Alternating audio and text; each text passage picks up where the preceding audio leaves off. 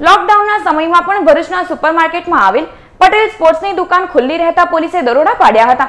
જ્યાં ખરીદી કરવા આવેલ ભરૂચ નગર સેવા સદન અને દક્ષિણ ગુજરાત વીજ કંપનીના અધિકારીઓ સહિત પંદર લોકો પણ ઝડપાતા ચકચાર મચી જવા પામી છે.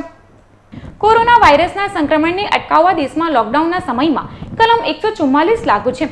ત્યારે ભરૂચના સુપરમાર્કેટમાં આવેલ પટેલ સ્પોર્ટ્સની દુકાન ખુલ્લી હોવા સાથે ત્યાં મોટી સંખ્યામાં લોકો હાજર હોવાની પોલીસને માહિતી મળતા એ ડિવિઝન પોલીસ દ્વારા દરોડા પાડવામાં આવ્યા હતા.